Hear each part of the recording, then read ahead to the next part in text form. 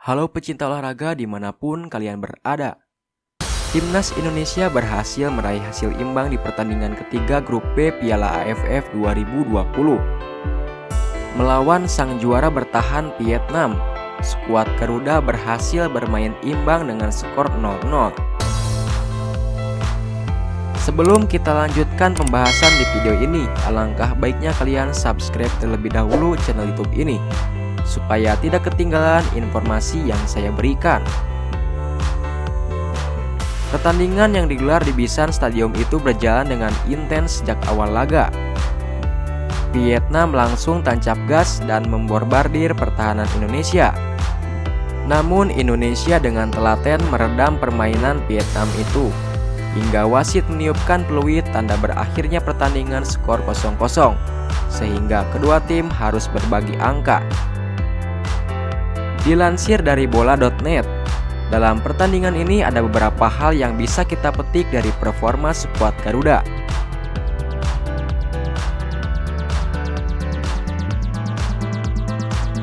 Yang pertama, Vietnam terlalu overpower.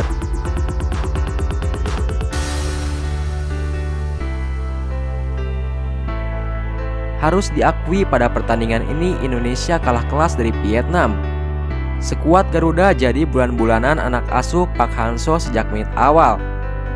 Vietnam sejak awal laga mendominasi jalannya pertandingan, hampir di sepanjang laga. Pertandingan digelar di setengah lapangan, di area penalti Indonesia.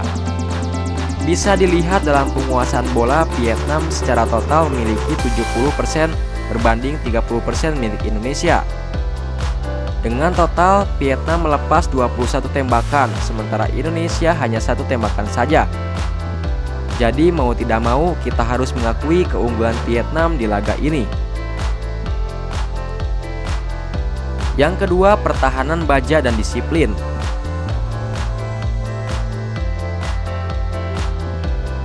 Vietnam mendominasi laga. Mereka melepaskan total 21 tembakan, namun tidak ada satupun yang jadi gol.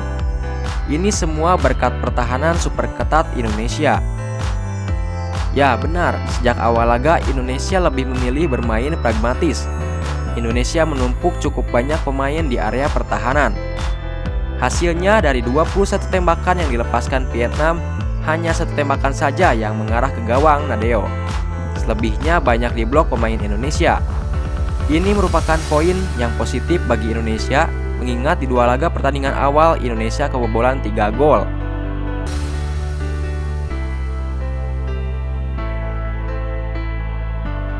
Yang ketiga, Evan Dimas jadi pembeda.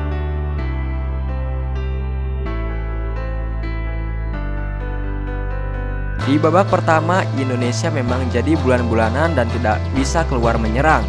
Namun di babak kedua situasinya berbeda semenjak Evan Dimas masuk ke lapangan. Ya, di laga ini Evan memang dicadangkan oleh Sintayong. Namun di jeda pertandingan ia masuk menggantikan Rahmat Irianto.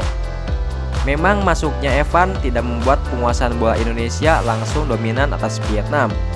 Namun Indonesia di babak kedua lebih sering beredar di kotak penalti Vietnam dan beberapa kali menebar ancaman karena Evan yang sukses mengatur permainan Indonesia. Yang keempat, tidak tenang dalam transisi. Di babak kedua, Indonesia sebenarnya punya beberapa peluang untuk menyerang. Namun, anak asuh Sintayong tidak memaksimalkan situasi ini dengan baik. Ketika para bek Indonesia berhasil merebut bola, para gelandang Indonesia tidak bermain dengan cukup tenang. Mereka cenderung tergesa-gesa dalam mengumpan, sehingga bola dengan mudah direbut oleh pemain Vietnam. Andai saja transisi Indonesia bisa lebih tenang, maka Indonesia bisa membuat ancaman yang lebih besar ke gawang Vietnam. Yang kelima, Masterclass Sintayong. Di poin terakhir kita rasanya perlu memberikan apresiasi kepada pelatih Sintayong karena berkat kejeliannya Indonesia bisa meraih satu poin di laga ini. Sebelum pertandingan ini Indonesia tidak bisa memainkan Elkan Bagot yang mendadak harus dikarantina.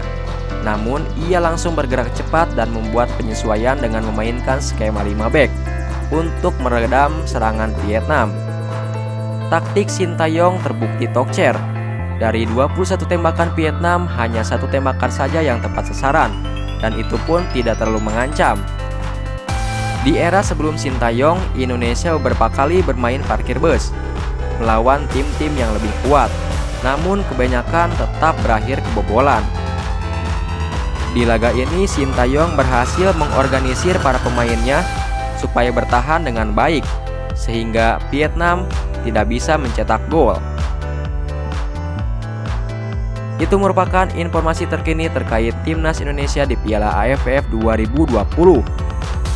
Jangan lupa like, komen, dan subscribe channel YouTube ini. Terima kasih.